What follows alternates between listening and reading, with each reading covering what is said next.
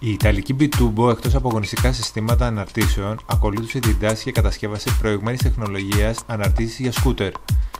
Συγκεκριμένα σας παρουσιάζουμε μπροστινά ελαττήρια προοδευτικού τύπου που βελτιώνουν την άνεση στην καθημερινή οδήγηση αλλά και τη σταθερότητα κατά τη διάρκεια του φρεναρίσματος.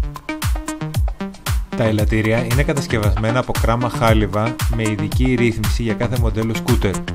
Τα εικονιζόμενα κατασκευάστηκαν ειδικά για Yamaha X-Max 2.5 και παρέχονται σετ με ειδικό συστατικό λάδι αναρτήσεων της Silcolin.